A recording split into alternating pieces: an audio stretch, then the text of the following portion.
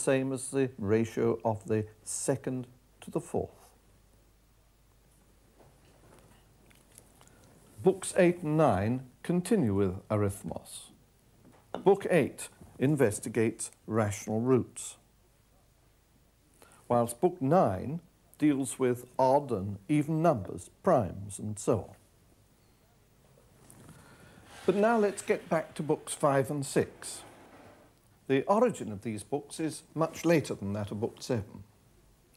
Most of it is attributed to Eudoxus of Cnidus.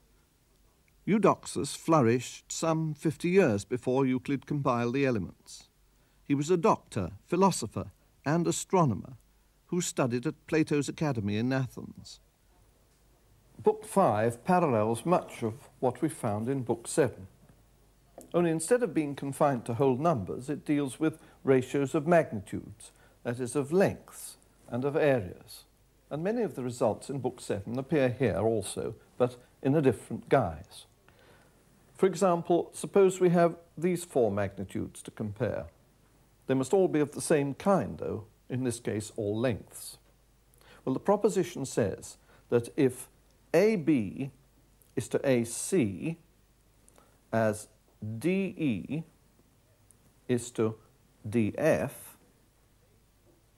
then AB is to DE as AC is to DF. In Book 6, these ideas are extended to areas of geometrical figures.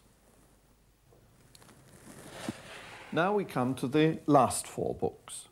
Book 10 is related to Book 13, the last book.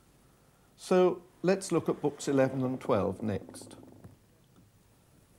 Book 11 deals with solid three-dimensional geometry, and it starts with 28 new definitions. For example, here's the definition of a pyramid as a solid figure contained by planes. And here Euclid makes comparisons between the volumes of different shaped figures with straight edges. Book 12 extends this to the comparison of areas and volumes of curved figures, such as circles, cones, and cylinders.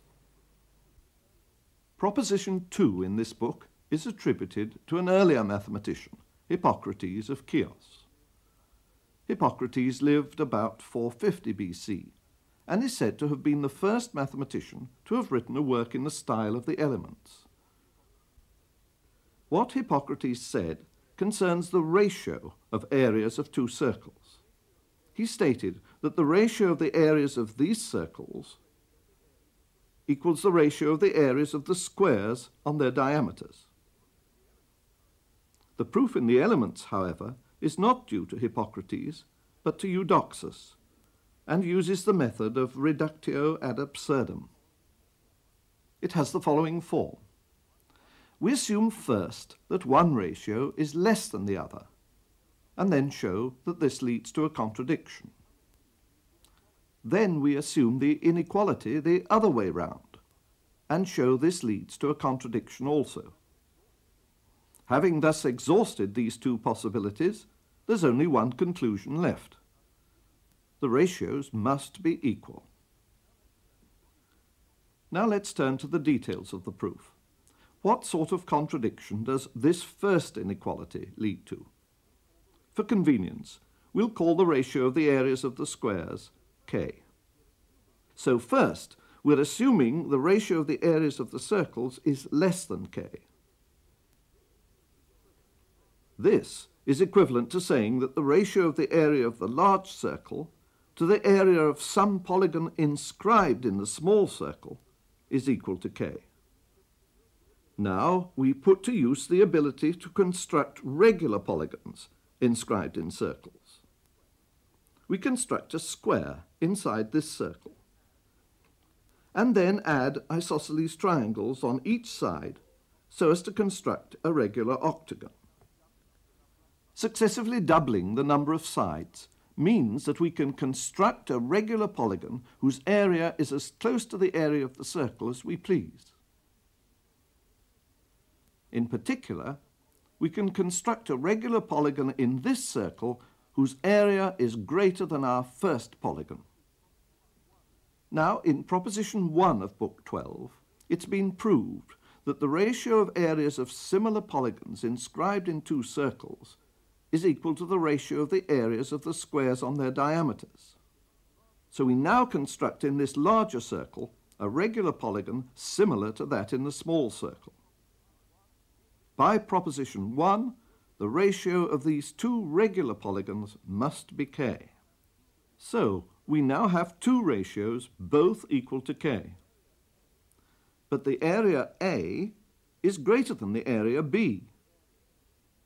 Yet the area C is less than the area D. And this is clearly impossible. So our original assumption must be wrong. The ratio of the areas of the circles cannot be less than the ratio of the areas of the squares on their diameters. A similar argument, first inscribing a polygon in the larger circle, shows that the ratio of the areas of the circles cannot be greater than the ratio of the squares either. Having exhausted these two possibilities, we're left with the only possible conclusion. The ratios must be equal. This remarkable type of proof enabled Eudoxus to prove similar theorems on the relationships of plane and solid figures with curved boundaries in the rest of Book 12. So we're left just with books 10 and 13. These are thought to include the work of Theaetetus, a young friend of Plato's. We know about him from Plato's dialogue of that name. Book 10 is a long and often difficult work. It deals with commensurable and incommensurable magnitudes, and it provides the groundwork for Book 13, in which Euclid introduces constructions for the so-called five Platonic solids.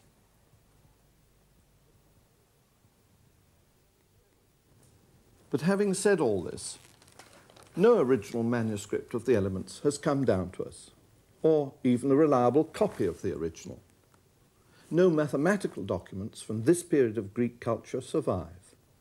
All that we have are copies made centuries later, with changes introduced into them by the editors. In fact, we don't even know if the order of the books of the elements is Euclid's or that of a later editor.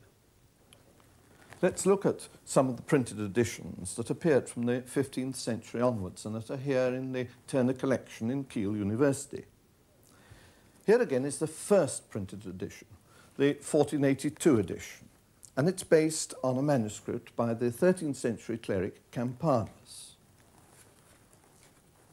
Here's another edition, this time from 1505, in which Campanus's work is castigated, saying, several wrong and absurd things proposed by Campanus have been arranged, divided up, and corrected.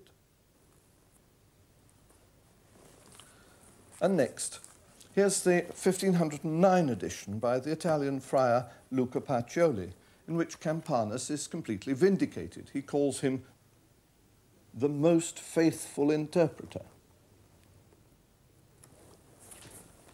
And now we come back to the first English edition, the one by Henry Billingsley.